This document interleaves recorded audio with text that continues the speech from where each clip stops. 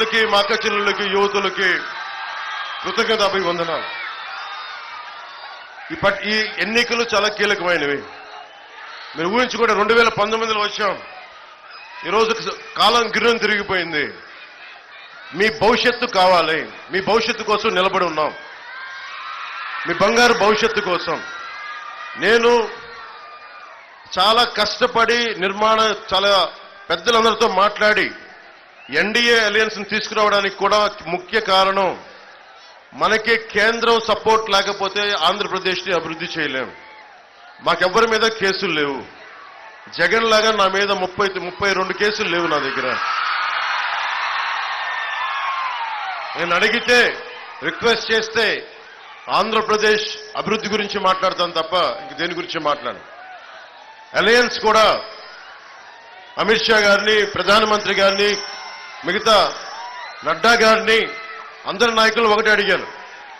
ఐదు కోట్ల మంది ఆంధ్రప్రదేశ్ ప్రజల భవిష్యత్తు మీరు నిలబడాలి మీరు. మమ్మల్ని నమ్ముకరున్నారు ప్రజలు. మీ ఆశీస్సులు కావాలంటే చాలా పెద్ద మనసుతోటి వచ్చి ఈరోజు నిలబడ్డారు. అలాగే మన నరసపురం పార్లమెంటుకు సంబంధించి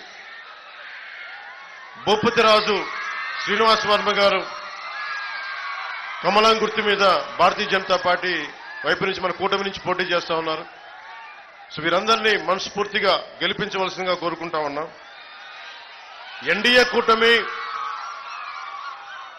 ఒకటే లక్ష్యం. తెలుగుదేశం భారతీయ జనతా పార్టీ జనసేన ఒకటే లక్ష్యం కోసం పనిచేస్తున్నాం. ప్రతి చేతికి పని ప్రతి చేనుకి నీరు.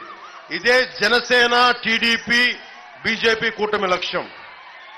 వచ్చి అధికారంలోకి రాగానే అభివృద్ధితో పాటు సంక్షేమ పథకాలను కూడా చాలా బాగా మెరుగ్గా చేస్తాం. సంక్షేమ పథకాల్లో ఏ- ఎటువంటి కోత ఉండదని మీకు మనస్ఫూర్తిగా తెలియజేసుకుంటున్నా.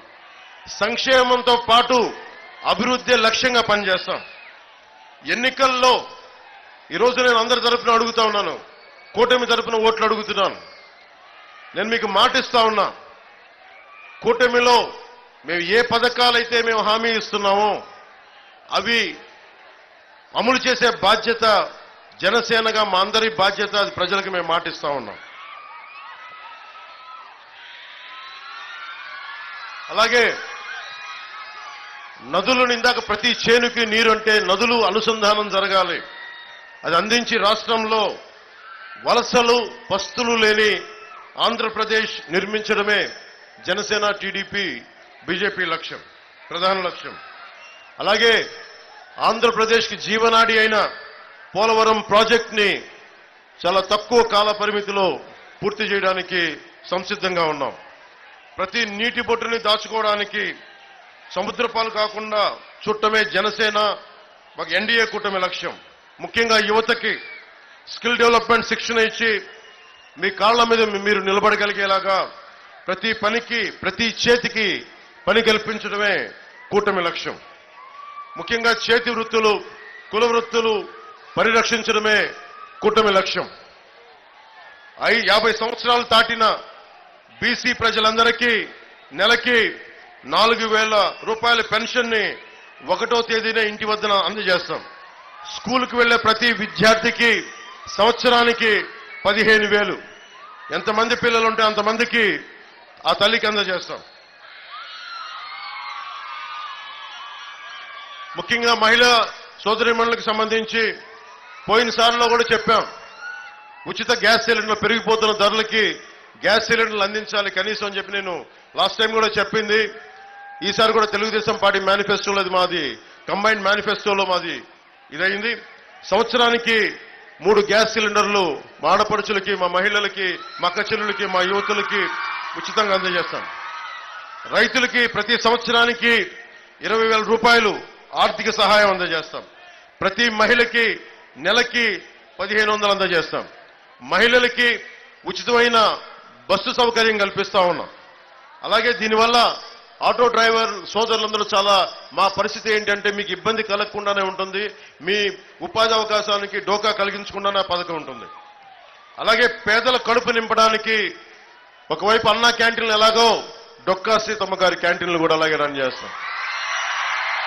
అన్నా క్యాంటీన్లతో పాటు లక్ష్యం ఒకటైనా పేద ప్రజల కడుపు నింపడం లక్ష్యం ఒకటైనా అన్నా క్యాంటీన్లతో పాటు డొక్కా సీతమ్మ గారి క్యాంటీన్లు కూడా పక్క పక్కనే రన్ చేస్తాం.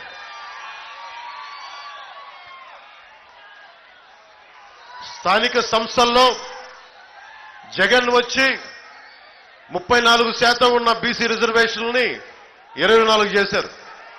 తిరిగి స్థానిక ఎన్నికల్లో బీసీలకి బీసీ సోదరులందరికీ సోదరిమణులందరికీ ప్రాతిని రాజకీయ ప్రాతినిధ్యం ఉండేలాగా తిరిగి ముప్పై నాలుగు శాతాన్ని తిరిగి తీసుకొచ్చేలాగా కూటమి బాధ్యత తీసుకుంటుంది. అలాగే బీసీ ఎస్సీ ఎస్టీ మైనారిటీ నిధుల్ని సబ్ ప్లాన్ ఫండ్స్ని వారికే వాటికి అందజేస్తాం. ఎట్టి పరిస్థితుల్లో కూడా ఆ నిధుల్ని దారి మళ్ళించకుండా చర్యలు తీసుకుంటాం.